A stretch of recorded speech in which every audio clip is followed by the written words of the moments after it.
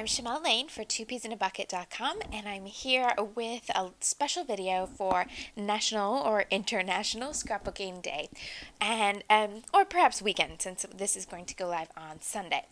Now, what I've done today is I've assembled a kit of supplies that are all available here at Two Peas, and I'm going to start and show you my honest process from um, this kit to as much as I can get completed. And I haven't pre-planned anything other than choosing the supplies, so um, it may go terribly wrong. I'm really, really hoping it won't, but um, I'd love for you to follow along and see if there's anything that inspires you. So first of all, I'll go through all the different bits and pieces that I've put into my kit. So I've got, um, just because the embellishments are all on top, I'll start with that. I have this new inky black color from the Mr. Huey's Color Mist collection by Studio Calico. And this set of clear stamps, um, which is a joint project between Hero Arts and Studio Calico which has all sorts of different travel motifs, but also some that could just be used for all sorts of different things. The word stamps, the Polaroid, and the map are um, not quite as specific as the airplanes and things like that. A set of black jewel candy dots from Pebbles a die cut um, from my mind's eye. This is called the Howdy Doody Happy Title. There you go. It's in the Miss Caroline collection. It has lots of different words and wood grain. This also comes in a different set of words and colors and fonts um, for something that's a bit more masculine in, um, in another range within the same collection, if that makes sense. Some small letter stickers from Studio Calico. These are red with a really subtle map print in the background, but once you separate the letters, you can't really tell that it's a map, so it's not um, not a worry if it's not the right theme. These thickers, which are a joint project between Studio Calico and um, American Crafts, I do believe. Yeah. And these are um, the Lullaby font, in a chipboard this time. They used to be, the Lullaby used to be in foam. This is a chipboard with a grid pattern on top. Some border stickers from Crate Paper in the Storyteller collection. Most of these are the 12 inch borders, but then there are a few 6 and 8 inch sizes on there too. A smaller set of label stickers from My Mind's Eye, that's in the Miss Caroline collection. And then the papers. There are 10 pattern papers. This floral called At First Sight from Dear Lizzy Neapolitan. This one from Hip Hip Hooray by Pebbles. It's called Good Times, and I'm going to use this pink um, grid side, I think. But the A side is this kind of brighter scallopy print. This one called Cheerful Notes from Dear Lizzy Neapolitan that can be cut into all sorts of pieces, of course. Or there's a full sheet on the other side a pink dot from Lily Bee Design, and they do this pattern in all sorts of different collections. So you get a tone-on-tone -tone polka dot on one side, and then a slightly distressed solid on the other. This one from Follow My Heart, or Follow Your Heart by um, My Mind's Eye, which has a little bicycle, or the honeycombs, and that's called Be the Best, that paper. A map print from Crate Paper, in black and white on one side, and the other side is cork, and that's called Archives. This one called Tiny Chevron from the Classic Calico Collection 2, which also has a circle pattern on the other side. One from BasicGrey's PB&J collection called Hip Fab, which has a navy and cream chevron, and then a solid navy on the other side. This is also from Crate Storyteller. This is called Tomorrow and has a red on both sides in slightly different patterns. This one is also Crate Paper, but it's from Pretty Party and it's called Cake Stand. It has a wood grain on one side and pink and strawberries on the other side. And then I've pulled out some cardstock to go in my kit, but I may not use all of this cardstock. Sometimes I decide I'm in a bit of a cardstock mood, and other times I just use pattern paper. So I have two sheets of kraft, one of a dark gray, a vanilla like a cream color, and a white dotted Swiss. Okay, so that's everything I've put together in my kit, and this comes to about $40 if you were to buy everything that I've just pulled out here. And but if forty dollars seems like a lot, keep in mind that the stamp set is fourteen ninety five. So you could take essentially you could take 15 bucks right off the top if you decided you would rather use something other than the stamps and you just wanted all the paper and embellishments and the Mr. Huey. So you still get quite a lot. So um, yeah, and these are all quite new products, so everything here is um, is at the full price in the store. So this isn't even some sort of special deal. You're still getting quite a lot and I'm going to make a lot of layouts from this amount. So I'm going to grab some photos so I can get started and I will take you through this process and we'll see what happens. I've decided I'm going to use this um, pink grid as the first background and I want to start with some ink um, splatters on top of this. So I'm just going to do that first so that it can dry while I'm getting everything else ready. So just give that a little shake, doesn't take too much.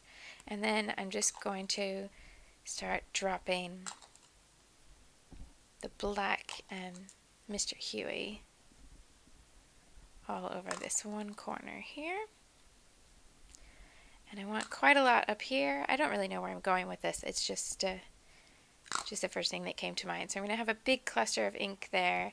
And then I'm just going to put a little bit down here, not nearly as much by comparison. Balances. Yeah.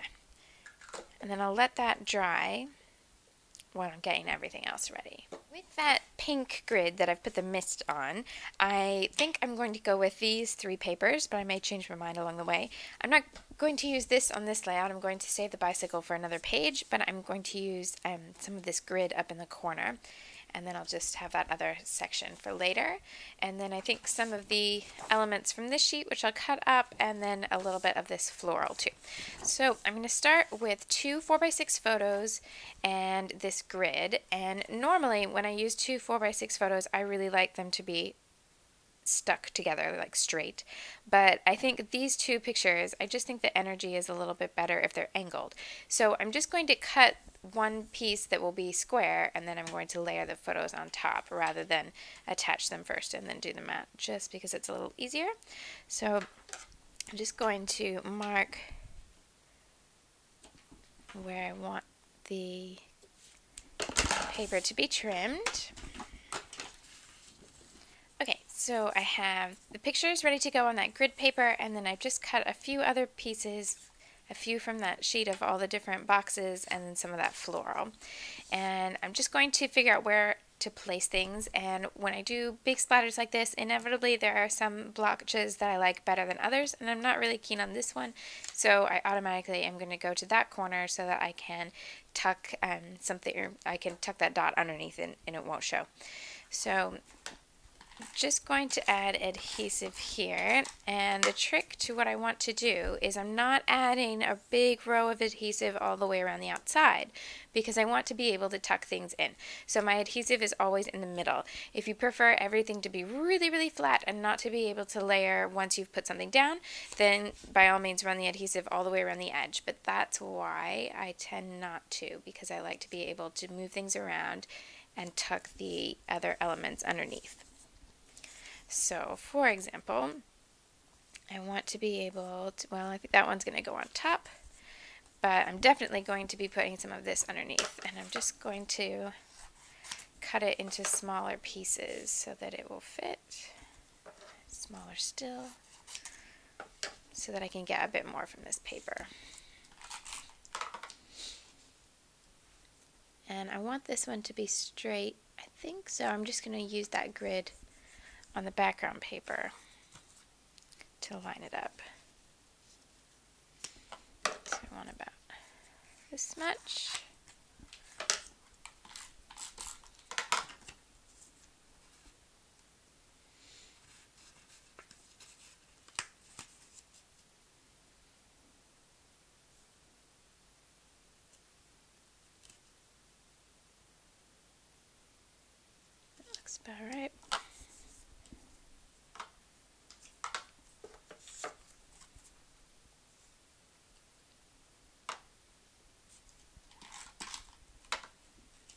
just start layering the other pieces on top.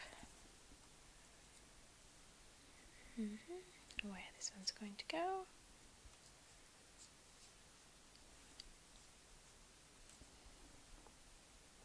That'll work.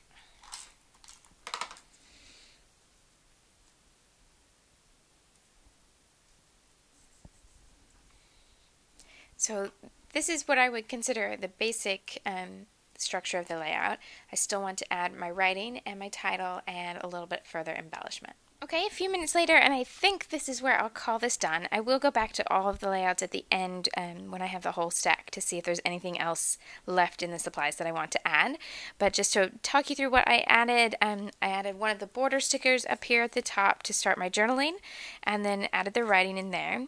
These three circle embellishments are the stamp that looks like a little map from this set, and I just stamped it on the back of this um, the floral paper, the back is a cream watercolor type paper. So I stamped a few of those and um, cut them out. You could either cut them out with scissors or a punch or die, whatever is easiest. And then just add a little bit of ink to the edges and put those on the diagonal following the ink blots. Um, to finish the those off, I added three little um, black gems, the Candy Dots by Pebbles. And I took one of the smaller border stickers and added it in here, then the title, and the rest of the journaling. So everything flows on this um, diagonal, but then there's also a horizontal line that comes across the photos to um, add further embellishment. And just one little thing I wanted to mention on this one before I go on to my next page is about title placement. Now obviously if there was something really important in the bottom of the photo it wouldn't be a great place to put my lettering. But in this case the lettering works well over the photos because I'm not covering up something important. I don't want to put um, the letters over someone's face or anything like that. However, if this part of the photo was something that I couldn't cover up, I'd just place it ever so slightly off the photo and keep it close to the pictures. Next page, I'm going to start with these three papers, the red, the blue chevron, and a wood grain. And for this page, I'm going to use one of my favorite um, page starters, which is a square design. So this time I'm starting with a pattern paper in the background, that's the wood grain, and then I cut a 10 inch square of the blue and white chevron, and then a, a, mat to go around that in the red. Now in this case I wanted to make sure I would be able to use more of that red paper later, so I cut this box out from um, that mat that's underneath. Sometimes I do and sometimes I don't, it really just depends on whether I can see that I want to use that paper again. I do like really thick layouts, so sometimes I'll use the whole sheet underneath there. It just depends on the page. So this time I've cut it out so that I can use it again later. And then I've added a navy blue box across the bottom that goes almost to the um, edge of the paper. That's just the background of, or the back of the the blue chevron. So um, that navy was already handy when I cut um, the 10 by 10 box. So that's where I'm going to start. And then I have two photos that I'm going to use for this. This is another two 4 by 6 photos, but this time I'm going to do something that I very rarely do because it's really not my favorite way to work, but I'm going to use one portrait and one landscape just to show that I can do it because these this is an honest case where these are the two photos I have. They are the two pictures I took that day, and one is portrait and one is landscape, and um, I think one on its own is going to look a little too lonely, so I'm going to go try and, and use both. So um, I'm going to place them like this, but this shows you kind of why I don't I don't tend to like it. Um, I end up with this awkward gap here, and the two put together is the same width as my 10 inch box, which doesn't give me a nice layer. It gives me things that line up in an awkward sort of way, like things are too much, um, too the same. So I'm going to um, shift that up a little bit. I'm going to use this red and use the other side and cut a mat for one of the photos and then I have a little bit of um, different size that I can treat them because I can treat this one like it's a little bit bigger than 4x6 and hopefully make that work. With the title in place, I've added a few border stickers and just put this photo on ever so slightly an angle to change up the squareness of everything here. And I punched a few little um, circles from a little bit of vintage ledger paper that's part of this paper. It's just a tiny little square of it. So I couldn't get three full circles, but I could get one full circle and two partials. So um, I just punched them off the edge. And then I end up with this kind of awkward empty space up here, which would be fine for writing, except this isn't really a very good pattern to write on. So I needed to go with something a bit more neutral. And I had um, some of the grid paper just sitting on the trimmer left from the from the first layout I did because this is that same grid that I used behind the photos on the first page. And I added the rest of that border sticker here. There's a little bit of it here too. So that's the full um, 12 inch border sticker. And then the other partial circle. And then I can tuck that behind the two photographs and balance this angle. So this one's going this way. I want this one to go the opposite way. But when I use angles, they're really ever so slight. It, it only takes a few degrees from something to go from just ever so slightly off center to something that's just so skew-if that it's hard for the eye to see it. So they're really, really slight angles. I tend to think of them as the sort of angles you get if you get a, a stack of papers all together on your desk and they're almost perfectly lined up, but you haven't done that pick it up and, and settle it all down yet. So they're just ever so slightly off um, the center, but they're not way off. So that's kind of my um, my way to judge whether it's angled too much or if it's okay. And um, on the last page I mentioned about putting the title over the photo and in this case these photos weren't a good candidate to put the title on top of the photo unless I put it in the sky and that didn't give me enough uh, room so I've run the title at the bottom but this is what I meant um, in that if I do place the title then below the photo instead of on top of the photo, I try to get it very, very close to the picture so that there's not a gap in the middle.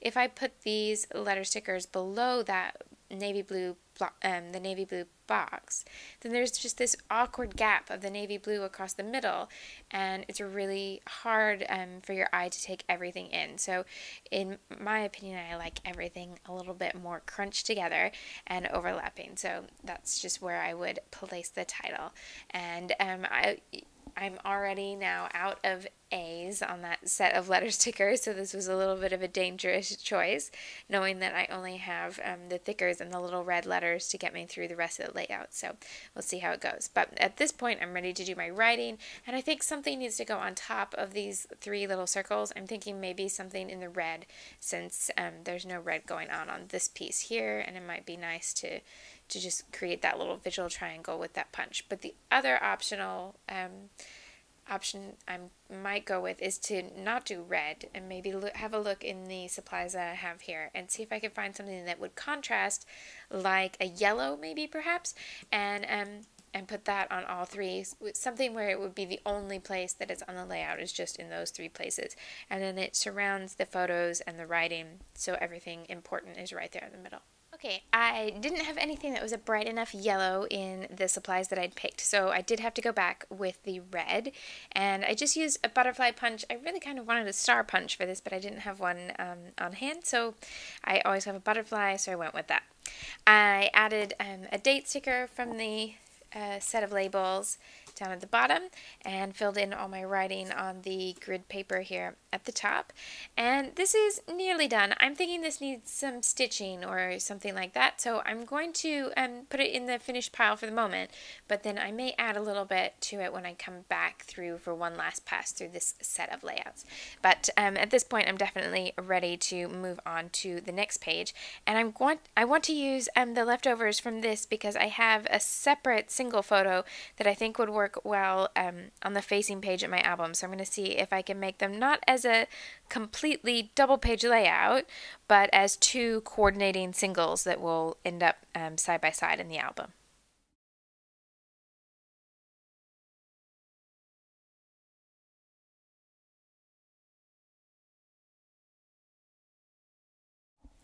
Um, I decided I would at first I was gonna cover everything else up, but actually I'm I'm gonna try it just as it is like this. Um, and then I'll end up with the butterflies inked, but also the um, the rectangle as well. So if it goes wrong, I'll just cover it up. So we'll give it a go. One more. Okay. I'll pick this up. Yeah, well, we'll see. Um, I think I'll set it aside to dry and then um, figure out where to go from there. That dries, I figured I would go ahead and go on to another page. And I'm going to start with this map paper in the background. This is the cork on the other side, which I'm not very keen on. So I'm going to use that full map um, 12 by 12. And then I have this photo booth strip. And these two little pieces, oh, three little pieces, yeah, from um, the cut apart Dear Lizzy sheet. And then I might use some of this that kind of coordinates with this block here and um, figure out where I want to go with that. So um, for this, I know that I'm going to um, to use the pink lined block for my writing. And I'm just finding my black ink. Um, I think black is a little bit of a better match for this one than brown. I've been using brown on all the others so far.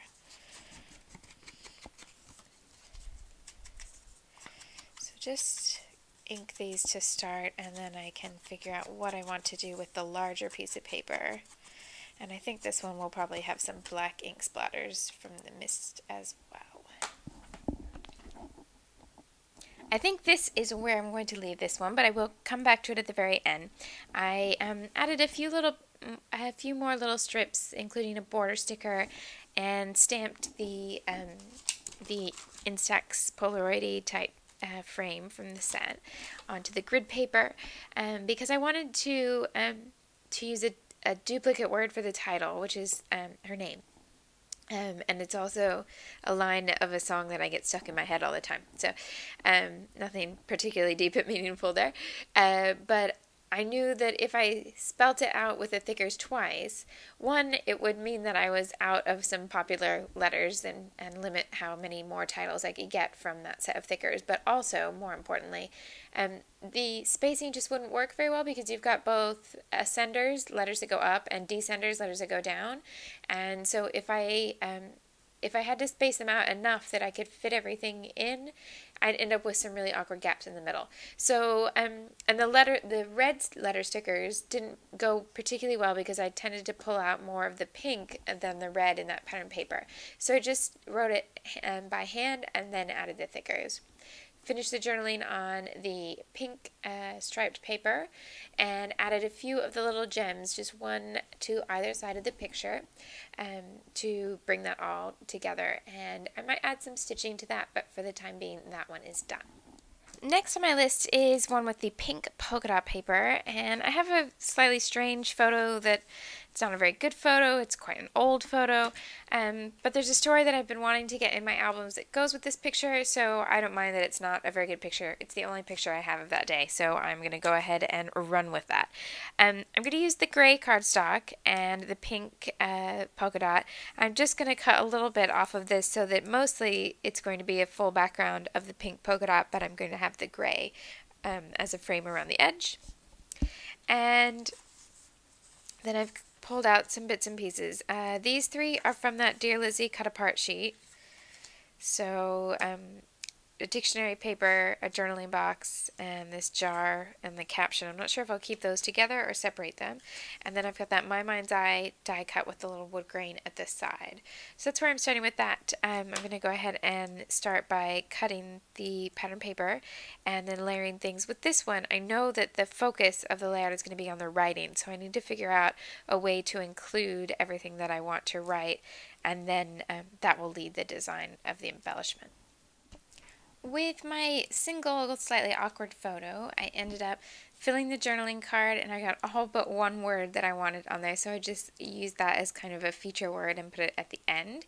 And then a few tiny little details down the side. And just added the embellishment over um, to the side of this cluster. I put both the journaling card and the photo on some cream cardstock and uh, added this little grouping. I actually split this die cut a little bit, so um, just cut between the two words so that I could stretch it out and put that little um, tab over the top. And I didn't end up including the little jar that was next to this. Um, this piece. So these were attached and I, I just used the word piece and haven't used the jar yet. Um, this isn't looking completely finished to me. I um, added the little gems which helped a bit and I don't think that I'm going to put a big title on this. I like the, the smaller words as they are and it means that you kind of have to read it for it to make sense in the album, which is what I wanted. But I do think that this will need a little bit more something, maybe just some punch shapes or something. So I'm going to leave it for now. I'm going to come back at the end and see what little sprinkling I could add. Maybe something a little bit here and here would just really pull it together for me back to this layout with the kraft and I sprayed that black ink and I was just waiting for it to dry. I um, took the rest of those little scraps and just kind of cut them into strips and stacked them up and left that little bit that was sprayed where I'd used the, um, the mask for the butterflies but just cut this piece off and, and let that little piece um, stay there with that bit of inking. And then I used the um, border sticker from this sheet and cut it into two pieces and added the title here at the top so that this kind of becomes a title embellishment area and then I have all the pattern paper down here and that's where I'm going to put the photograph as well. I think I'll just, yeah, layer it on top of everything there. And then what I was realizing is that there's that empty space at the bottom of the picture and the butterflies don't completely make sense on their own if they're just sat there on their own. So I thought I could add another one down here in the corner um, to bring those two far corners of the design together and to bring the black um, into the red and blue. Just kind of tie it all together. Now I didn't have black cardstock in my kit, um, that I'd put together. So I just punched it from some cream cardstock that I had out from the layout before and then um, rubbed it over the top of the black ink pad or I could spray it with the mist as well. So um, just making do to to make it work without getting any more supplies out. Then I'm going to add um, my journaling here um, in a black pen and a few more letter stickers down here in the bottom corner, or in, in this area of the page. Here's this one all finished, and I know I said earlier about wanting to keep my title very close to my photos, and then in this case I did completely the opposite, and I put it um, on the far corner from the photo. But um, I think what I really mean is that if the photo is, if the title is going to be near the picture, then to me it needs to be very, very close. And then if it's going to be far away, it needs to be far enough away that that's obvious. I really wouldn't like this page if the title were here, for example, because it would just end up floating in the middle. So um, to me, I like it, I like them the title on on either extreme, either very close to the photo or very far away, but not really floating, um, you know, a few inches away. Uh, I'll probably break that rule again later. But anyway, I'm trying to, to figure out what I mean about that. And the journaling goes right in the middle, and I quite like how um, it looks at first really difficult to read, but with um, when you look at it in person, the black of the pen and the black of the mist are two different shades, so actually it's quite simple to read um, if, if the layout's in front of you. And so that is mostly just from those tiny little scraps and then quite a few letter stickers. So that will go opposite the other page in red and navy in my album. This one, moving on to yet another page, this one started to give me trouble because this particular piece of paper, the um, the bicycle and kite print on the grid. Now I've used quite a bit of that grid paper on the others, but I'd saved the little bicycle part and I was going to use that with two 4x6 photos and it just didn't matter what I did with them on the page I couldn't get this box to reconcile with the two 4x6 so in the end I decided to play around with the paper put the photos away and just not think about using those those particular pictures and play around with the paper to get something that I liked and then I could see what sort of size photo would work with that. And um, just ended up going with a very different photo than what I had originally planned. So that's okay. Um, the other photos can go back in the drawer and a better paper or a better design for them will come along.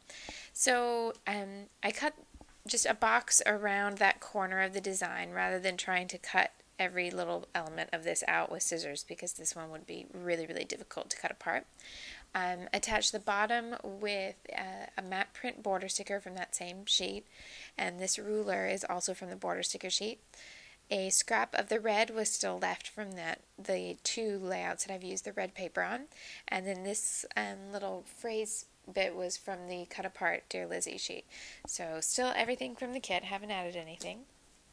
And all, of all the photo sizes I tried, um, this uh, wide instant, which is a Instax uh, 200 series from the Fuji uh, instant cameras, um, this works really well, and in fact, all of the sizes of instant cameras that I had, or instant photos I had, worked.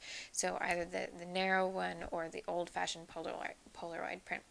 Um, so I'm going to go ahead and finish this layout with this, and most of the layout, it, all the elements on this page are going to be in this bottom corner.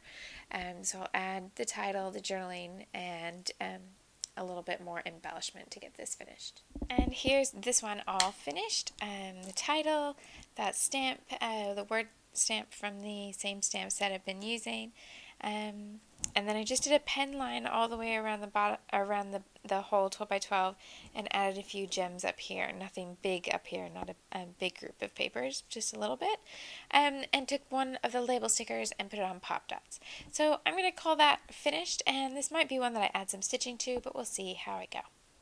I think I'm on layout 7 at this point, and with this one I'm using the the Studio Calico chevron in the background. I have this uh, piece left from the Dear Lizzy cut apart sheet, and then I'm going to put that with one uh, 4x6 photo. I want to place these on the page but not attach them yet because I'm going to do some misting in the background. And I just want to see where the um, where the pictures will go because I want to place these. Now, these, I've just cut some circles from um, some scraps of pattern paper that were set here. And the paper itself won't end up on the layout. I'm just going to use it as a mask. I'm trying to decide where I want those three things to go. I think I'll go with that. Okay, so take these off now. And these aren't adhered, they're just placed. And then I'll take the Mr. Huey and I'm just going to spray right over the top of each one and miss terribly. Well, that first one was a bit of a fail, the other two a bit better. And so I end up with this circle in the negative. Then I'm going to put the photos over the top and then I can add a little bit of embellishment in there and then hopefully everything there will um, come together and hopefully I'll be able to add enough here that the uh, off-centered spraying isn't such a bad thing. So with everything put together on this one, I just punched um, some little circles that were smaller than the ones that I used for the mask using the same punch that I used on an earlier layout. Um, and this is from that same sheet as the balloon card here. Um, and then use a little heart punch and the black gems uh, to add something on top of that. Uh, played with some ideas for using the and symbol because it's a wedding photo. So use their initials and then their names um, and the big and in the thickers. Their last name starts with E, so um, this A to G uh, letter sticker border kind of thing uh, worked well, and then I could uh, add in the, the letter stickers to spell out their name. Another option I thought of was maybe using a stamp to encircle the E, bring more attention to the E um, but I didn't have anything in the stamp sheet that I had pulled out that would be a particularly good match for that. So I think I'm going to leave this one here, and I'm going to try to eke out one more because um, I really like the idea of getting eight layouts from this set. So I'm going to see if I can put all the scraps onto a sheet of white cardstock and come up with something to finish it off. What I have left in terms of paper, I have two little elements oh, maybe three, from the cut apart sheet but one has some pieces cut out. Still have quite a bit of this pattern, um, some of it cut with the circles where I tried different things. And the back is cream, but also does have this strip um, in a multicolored stripe that would work. I've got this with the two-tone red, a little bit more of that. I've got a green polka dot strip from the branding bit, some navy, just a tiny little bit of that, a little bit of that grid, where it has this honeycomb on the back, but I'm more fond of the grid, I think. And two pink strips. So, not a lot, but definitely enough to pull together. And then I also have quite a lot left on the border sticker sheet. So I'm going to go with this idea of borders and I haven't pulled any photos for this. I'm just going to give it a try of putting all of this together on one layout and we'll see what happens. So with all these strips cut apart and the border stickers added in and then one of the little uh, rectangles left, this is what I ended up with. Um, I do have a few little leftovers that I haven't included. I've got a few more strips of this. I couldn't find a way to get the jar in, and I've got the grid paper, but the grid paper I could definitely use for journaling. Um, and if the jar doesn't come in useful for a page in the next couple days, I would probably stick it on a card because it's it's a lovely motif, um, but it's just it hasn't been working with the style that I've been working in. So I've got a tiny little bit left over, um, but then I basically just glued all these down, uh, and this is what it, it ended up with. Um, and then I went looking for a photo, and because this is kind of a page of leftovers, I I think I'm okay with with doing this. I'm just going to use a tiny photo, which I know is is a little bit um, controversial, perhaps. But here's the thing: this photo was on the top of a stack, um, and I had printed it at this size for a project ages and ages ago. It didn't end up working at this size, and I had to reprint it um, for a mini book, I think it was. Um, and so I've just had this one in the in the drawer and every time I see it, I think I should either do something with that or I should throw it away because it's a digital image, so I have plenty. I, I still have a backup of it. Um, but there's something I, I just kind of like the idea of having this tiny little photo in contrast to all the, the bits of paper. So I think I'm going to go with this. I'm just going to attach it here. I'm going to add a little bit of journaling here and I think a title on this box here. And I'm going to call it done. Here's the finished result um, with the writing and the title and um, had another label sticker I could add in with the photo. And I decided I would go ahead and use one of the stamps that I hadn't used from the set, even though this one kind of bothers me because it has the word favorite, but it's the American spelling, and I tend not to use the American spelling of things. But I like the phrase, and, and I've done eight layouts, so maybe I'm a little delirious. I'll see if I still like the uh, the spelling of it tomorrow, and if I don't, I can uh, come back in and add something here to change it around. Um, so that is the eighth layout. So I'm going to um, just flip through the eight pages that I made. So I started with the pink, and there's quite a lot going on in this case, the first one. And they're the two that are going to go side by side in my album. So this one is the more minimal with just the iPhone photo. And this one with two photos at 4 by 6